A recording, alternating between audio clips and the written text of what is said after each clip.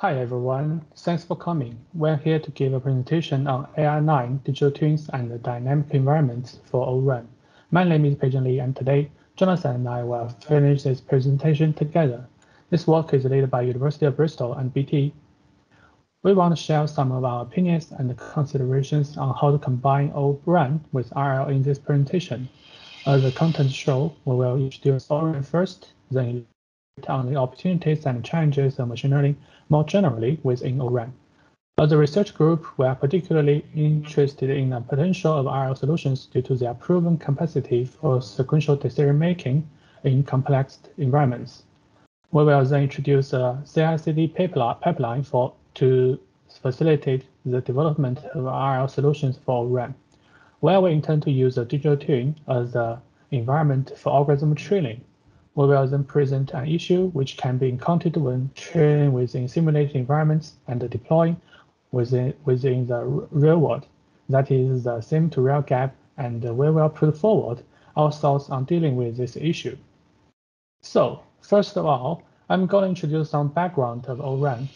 RAN means the radio access network, which is a part of the critical infrastructure of modern mobile communication networks.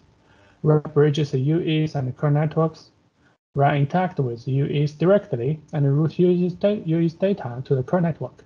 So the service quality of a RAN directly affects the UEC experience.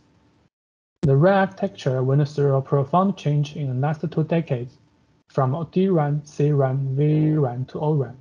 Although each RAN architecture has its own features, the overall trend is that RAN is decoupling the RF and the baseband unit and virtualizing its functionality to reduce the operation cost of the system. ORAN is a new emerging structure or organization. The ORAN Alliance was established in 2018. Its technology specific specification or details are still under planning, but already shows a strong appeals. That is because ORAN has two important properties, openness and intelligence. Openness is that it adapts the standard and well-defined hardware interfaces and software services. So the equipment or IPs involved in ORAN do not need to rely on specific vendors. More importantly, it is the first time that the RAN structure embraces artificial intelligence from its basic standard formulation. So, ORAN will be built on the foundations of virtualized network and uh, network elements, white box hardware, and standardized interfaces that represent core principles of intelligence and openness.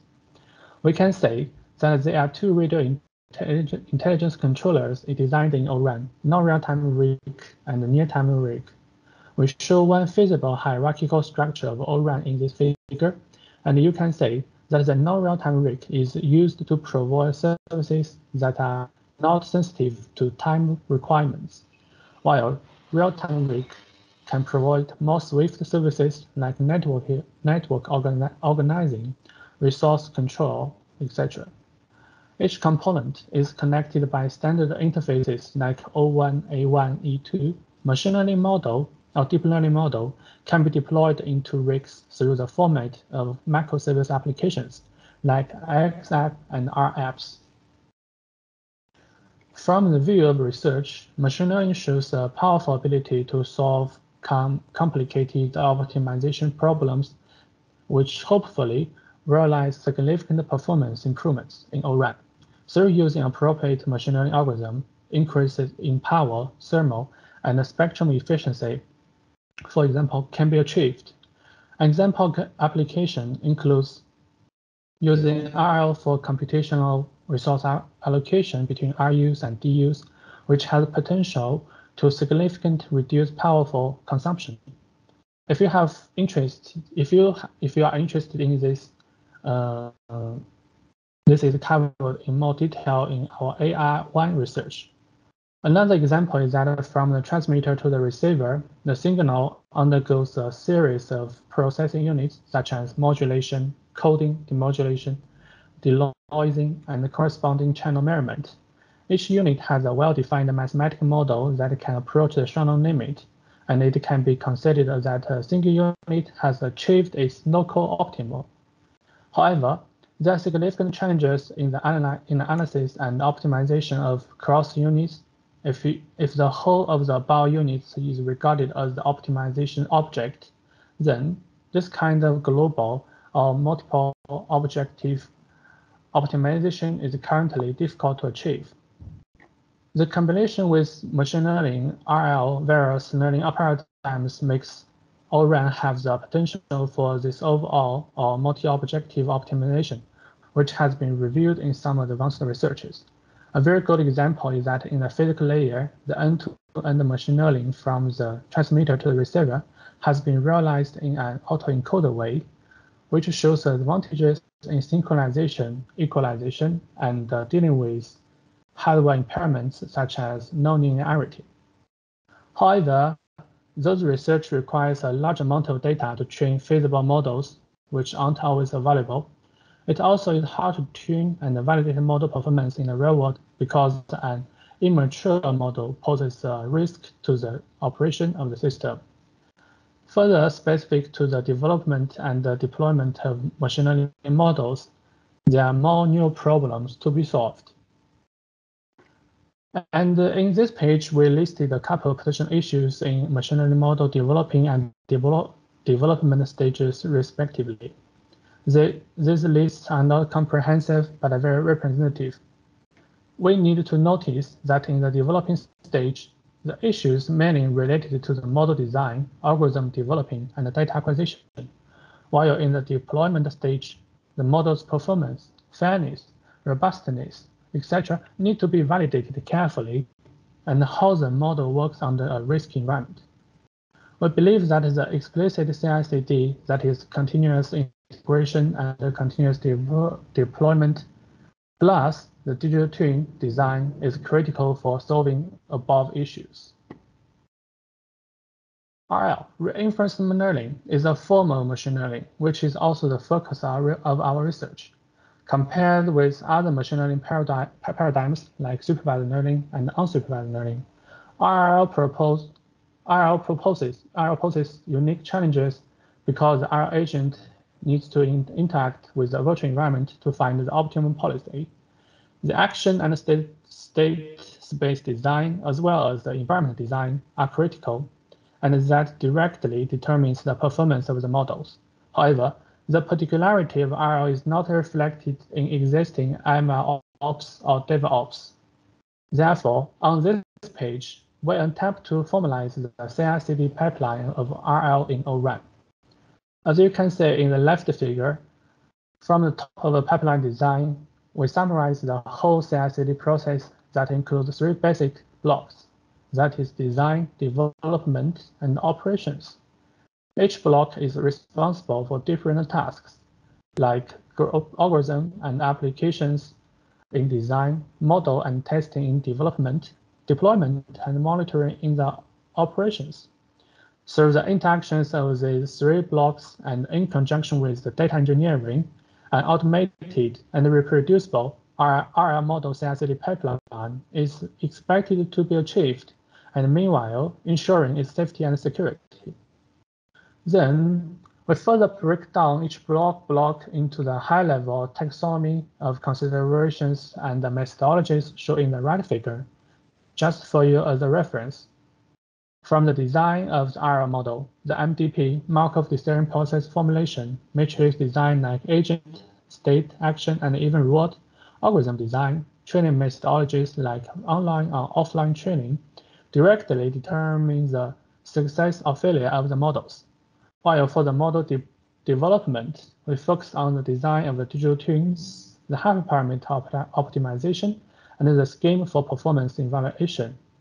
In this stage, the related training skills of the model heavily affect the model performance. For the operation, the A-B deployment, backup scheme for model decay, and interoperability should be considered. The deployment location is also important, like in an ORAN system, where you want to deploy the model, models located at the edge, CU, or DU will make a difference on communication latency and service quality. Moreover, the safety and security concern of our model is important To alleviate the concerns of safety and security, in the algorithm developing stage, we can abstract the IR model as a constrained MDP to reduce safety risks. The factors that may affect the model performance are constraints of the RL model. We should also consider the QOPS and the explainability of the RL model to fending off potential adversary attacks against RL models. For example, we can explore the downbound of the RL model performance by tuning hyperparameters or, reward design, like in the reward design for the long-term reward, short-term reward, and reward triggered, triggered by specific events. There are trade-offs to be made. Also, we can mimic different adversary attack patterns or behaviors in a digital twin to validate the robustness of the RL model we have to say that each item mentioned in this figure is a considerable academic research problem. Most problems are not settled. We must study these answers under the background of the specific practical tasks. Therefore, we would say that the careful considerations of these concepts should streamline the time to deployment and mitigate business risks. All right, my part is done. I want to hand over the remaining part to John. John, over to you. Hey, uh, thank you, Peizheng. So hi, I'm Jonathan, and I'm going to be talking at a high level about the functionality of the digital twin, what it provides, and a particular risk that we may be uh, we may want to be aware of. A digital twin is a simulator of sorts that is aligned with a physical system. In our case, it will replicate the elements and functionality of the live ORAN communications network. Through being a, a virtual replica, it affords functionality which would not be possible in the real world. For example, the training of RL agents. In general, RL develops near optimal control policies through interaction, which typically requires high levels of trial and error. Trial and error is inherently risky and to allow random control actions to be taken within the real world may lead to significant reductions in quality of service for users or complete failure of the network, both of which are obviously undesirable and are things that we want to avoid. Through using a digital twin, we enable safe exploration for our reinforcement learning agents so that they can learn competent control policies without the risks associated with, the, um, with acting in the real world. We also can easily parallelize this environment, allowing for a reduction in wall clock training time for our agents. As such, we consider digital twins to be an essential part of the training pipeline. In addition to the benefits they provide within training, they also provide benefits from a governance perspective. They enable us to validate our models in situations that we are interested in and to quantify risks which may be important in deciding on whether or not we would um, like to deploy a model where this process could be automated if we'd like it to, in order to improve the speed to deployment.